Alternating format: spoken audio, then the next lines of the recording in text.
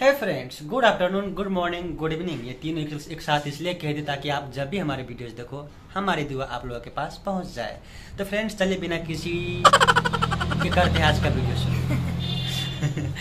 तो क्या ही बताया आप लोगों ने थंबनेल टाइटल देखे होंगे जिसमें मैंने दिखाया हुआ अपना टूटा हुआ फ़ोन तो कैसे टूटे हैं उसका एक ही रीज़न है फ्रेंड्स वो एक रीज़न ये है कि इनके आप इनको देखिए बहुत गौर से देख लीजिए इनके ये खोपड़ी भी देख लीजिए इसमें डोपामिन डोपामिन और एक हार्मोन है बहुत रिलीज़ होता है और दोनों का केमिकल रिएक्शन हो गया है। इसके वजह से इसको मैं कुछ भी समझाना चाहता हूँ ये समझती नहीं है। इसकी वजह से समझाने समझाने के वक्त में थोड़ा सा बहस हो गया बहसबाजी में कुछ नहीं बस फ़ोन को हाथ में लिया और जितना मेरा पा, पावर नहीं था उसका फाइव परसेंट ही यूज़ किया और पटका तो मैं उछल उछल कूद का और टूट चुका। जो कि आप लोगों को मैं यहाँ पे लगा दूँगा स्क्रीन टच की टूटने के बाद हमारे फ़ोन का हाल क्या है देख लीजिए। मुझे गलत साबित कर रहे हैं। नहीं बस ये बताओ कि जो मैं कह रही हूँ गलत है क्या?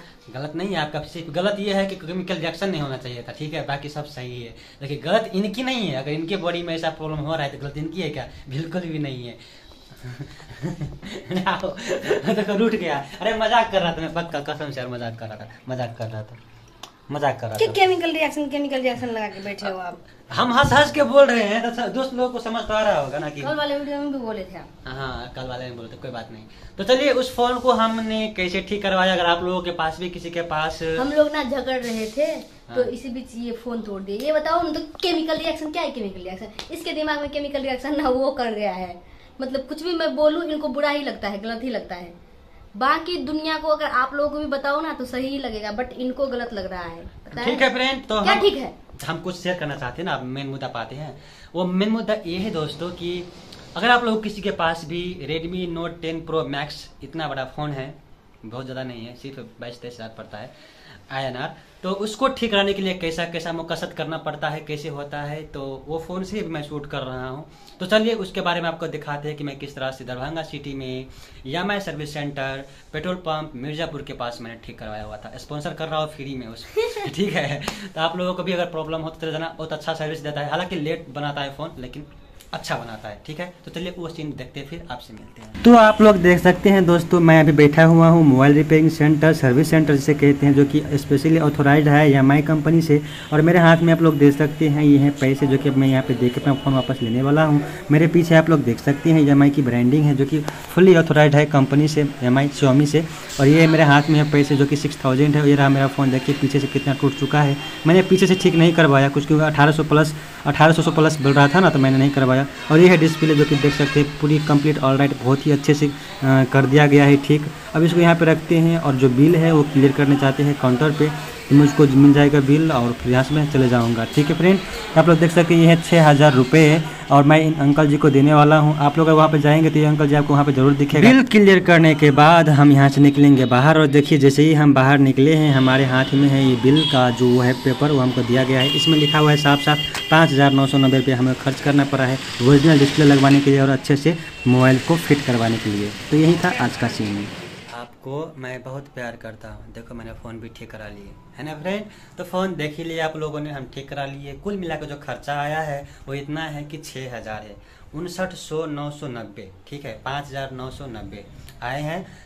उनसठ सौ नौ सौ नब्बे। ये कैसा हुआ मतलब पाँच हज़ार नाइन हंड्रेड नाइन्टी ठीक है? इतना मतलब कुल मिला के दस रुपये कम। हाँ कुल मिला के सिक्स थाउज़ेंड है।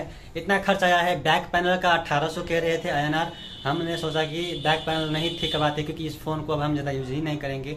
पैसे आ जाएँगे। आप लोगों के दुआ से अगर व्यूज़ उठ जाएँगे तो पैसे आ जाएँगे। पैसे आ जाएँगे तो हम फिर नए फ़ोन खरीद लेंगे। और इस बार कुछ अच्छा अपना फ़ोन खरीदेंगे। और जिस कंपनी में मैं काम करता हूँ वहाँ पे मुझे फ़ोन भी अवार्ड में मिला हुआ है। तो जैसे वो मुझे मिलता है तो मैं फ़ोन नहीं लेने वाला उसका पैसा ले लूँगा और उस पैसे में थोड़ा सा मैं अपना पैसे थप करके क्या करेंगे एड कर करके अच्छा सा फ़ोन लेंगे बहुत ही धांसू वाला जिसमें ब्लर बैकग्राउंड वाला शूट हो फिर अच्छे हाँ। अच्छे से आप लोगों को वीडियो देखने को मिलेगा अच्छे से मस्ती वाले। और हम साथ में रहने भी वाले हैं दरभंगा में। फिलहाल- फ़िलहाल की हम अकेले अभी जा रहे हैं। जब तक हम लोग अकेले अकेले रह रहे मैं यहाँ पे और वो यहाँ वहाँ पे तो आप लोग कमेंट करके बताइए बताते रहते हो ना मुझे कि बीमोदी इंस्टाग्राम पे आप लोग मैसेज करते रहते हो कि बीमोदी आप विकास भैया को बोलो कि दरभंगा में ये जगह है वो जगह है घूम के बताए दिखाए ये करे वो करे वो कुछ भी कर रहे हैं वो करके थोड़ा सा शूट करके बताए आपको बहुत मिस कर रहे होते हैं ना। आप लोग खुद इनको इस वीडियो में कमेंट करके बताए क्योंकि इस वीडियो का कमेंट का रिप्लाई यही करने वाले हैं। तो इसलिए आप लोग इनको कमेंट करके बताए कि ये किस तरह का वीडियो आप लोगों के लिए शूट करके दिखाए ठीक? दरभंगा का? हाँ। देखिए फ्रेंड दरभंगा की अगर बात बताओ तो ठीक है नेक्स्ट वीडियो मैं उसी पे बनाऊँगा कि मेरे पास कितना टाइम रहता है ठीक है? आप लोग कल वाला देख लेना रात तो आप ना एक ब्लॉग दो तीन दिन में भी डाल सकती हो। हम्म। हाँ ज़रूरी थोड़ी आप- ना है कि आप डेली डालोगे। आप मैं भी कभी कभी डाल दूँगी मैं बीमू से बहुत ही ज़्यादा नाराज़ हुआ आज मैं आपको बता दूँ। मुझे आज दरभंगा जाना था और गलती से मैं सो गया और इसने मुझे उठाया भी नहीं। कितना ब्लेम कर रहे हैं मुझे। सच बात है कि नहीं ये बात? नहीं हम लोग गैस लेने गए थे। गैस लेने गए थे क्योंकि गैस का रेट जो है यूक्रेन के वजह से और रशिया की वजह से ना आसमान छूता हुआ जा रहा है। रशिया की वजह से नहीं यूक्रेन रशिया के वार की वजह से। हाँ वही वजह से।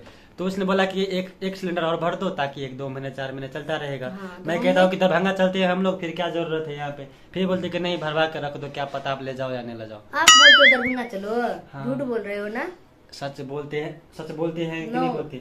इनके सामने में सारा प्लानिंग करा है मैंने ठीक है? फिर भी ये बोलते हैं कि नो प्लानिंग कर अब इस बंदे का इज़्ज़त ही कौन करता है? अब इस बंदे की बात का विश्वास ही कौन करता है?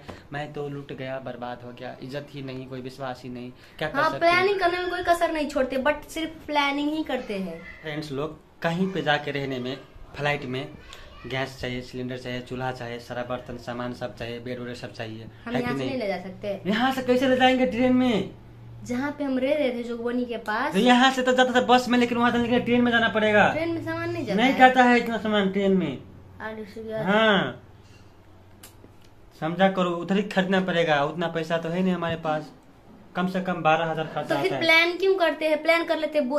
कल क्या बोल रहे थे? हाँ कल ही बोल रहे थे कि हम ना एक महीने के इनसाइड हम इनसाइड वन मंथ हम चले जाएँगे दरभंगा रहने के लिए। तो क्यों झूठ क्यों बोलते हो? झूठ नहीं बोलते हैं हम हम प्रयास कर रहे हैं ना। हम प्रयास कर रहे हैं।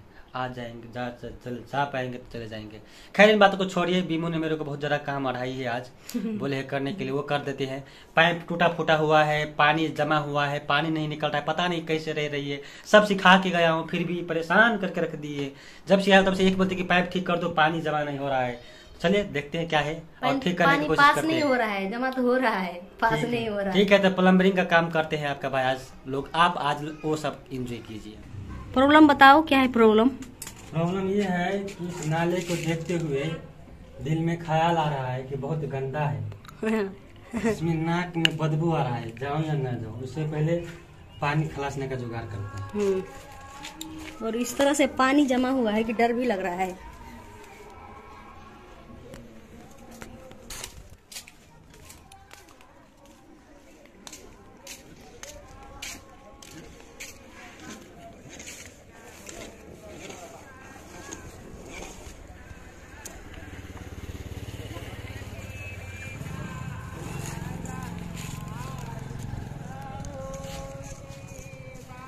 सुहाना, क्या हो रहा है यहाँ पे।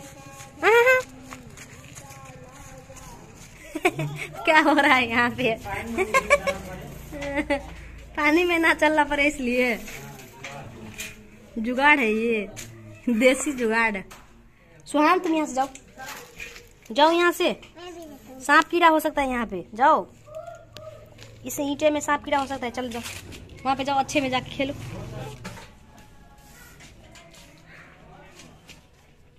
गुस्सा होके सुहाना चली गई। तो यहाँ पे आप लोग देख सकते हैं, मैं अंदर पहुँच चुका हूँ, जो कि बहुत ही दूर है। ये हमारे घर का ही पीछे का गली है, जिसमें पाइप टूट चुका था और बारिश का पानी पूरा उधर टॉयलेट भी बनाया लास्ट में, उसी में गिर रहा था तो मैंने वो निकाल लिया है।